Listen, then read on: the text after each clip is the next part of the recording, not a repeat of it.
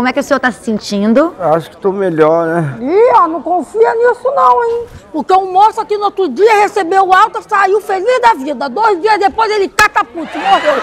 Marisa, Marisa, o que é isso? Meu Deus, aproveita essa dificuldade de articulação e fica caladinha. É que, é, é que ele tá só se recuperando da anestesia da endoscopia, né? Do efeito da É, endoscopia. coitado, olha lá, tá que nem consegue falar direito. Tá falando melhor que você. Mas vai se recuperar, né? vai se É. recuperar. Ele tá se recuperando Chegou bem. novo estoque! Chegou novo estoque! Chegou novo estoque! É do governo? Foi do governo? Não, não. Quem mandou foi o dono do morro lá onde eu moro. Inclusive, eu ganhei até um prensado. Bom, cavalo dado não se olha os dentes, né? Mas o mais importante aqui é que Juraci vai poder voltar pra casa e tá tudo bem. Não tá tudo bem, não. Não tá tudo bem, não, porque eu não esquecia. Eu não esqueci o que vocês fizeram com meu marido aqui nessa cadeira de roda velha. E eu não esqueci, não esquece que vai ter processo. Mas essa mulher guarda, hein? Eu sou acumuladora, meu filho. Ai, gente, ai, gente, eu tô indo embora. É, fica com Deus aí, amanhã eu tô de... Irmão Sassá! Meu Deus, irmã Jussara! Conhece ela, coisinha? Claro, a gente frequenta a mesma fraternidade. Fraternidade rancorosa desse jeito, meu Deus. Você não sabe o que, que aconteceu. Não sei. Meu marido tava passando mal.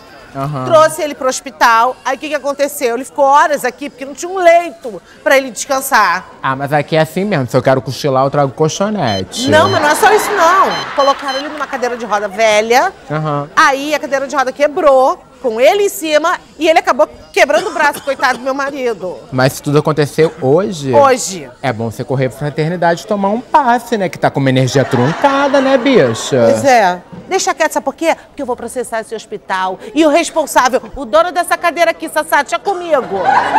O responsável vai processar? Tá na tua frente. Cadê? Na tua Sou frente, eu. amor. Não, não, não sou de esconder jogo. Quando eu. Olha, se eu erro, eu erro, entendeu? Olha, irmã Ju, é o seguinte, na verdade, o hospital tava passando por uma necessidade, né? Brasil. Aí eu consegui a cadeira do hospital. Caridade. Sassá?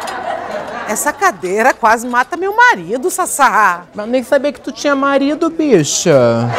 Tenho. O que eu posso fazer? Você lembra que a gente aprendeu na fraternidade? Quando? Quarta-feira passada, que Sei. teve a palestra.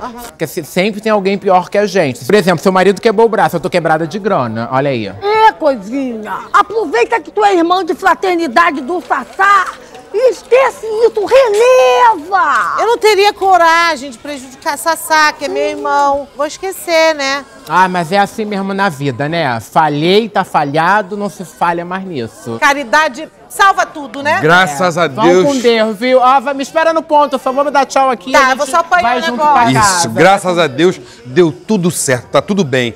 Sassá, que bonita a sua atitude de caridade, hein? Ah, eu sou assim, sabe, doutor Marco Aurélio? Eu sempre fico praticando a máxima dando o que se recebe, né? Só que acabou até que eu já dei, né? Agora só tá faltando eu receber, né? Sali é Nilson. Ah, doutor Marco Aurélio, já te falei, né? Eu vou agendar aqui uma